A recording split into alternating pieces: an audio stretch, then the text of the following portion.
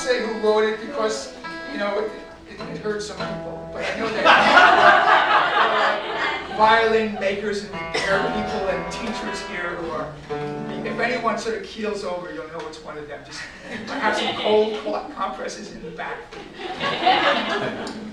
How, do, how do we usually start this, this kind of, does somebody go one, two, three, or?